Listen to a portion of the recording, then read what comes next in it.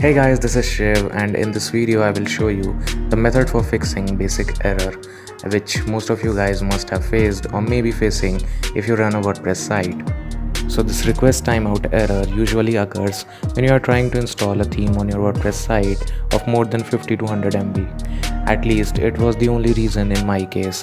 But if this is not the reason in your case then also you can try this method. All you have to do is to open the cPanel of your website, look for the file manager and go into the file public underscore html and look for .htaccess file. Right click on it and select edit. Now scroll down and add the code which I'm highlighting right now under hash and WordPress and hash PHP. Now go and edit the file php.ini in the same folder public underscore html. Just paste this single line code in php.ini and click on save change. That's it. This is all you have to do. And if you want to get the code of these two files, you can check the description box below. And if this video was helpful for you, make sure to subscribe and give a thumbs up.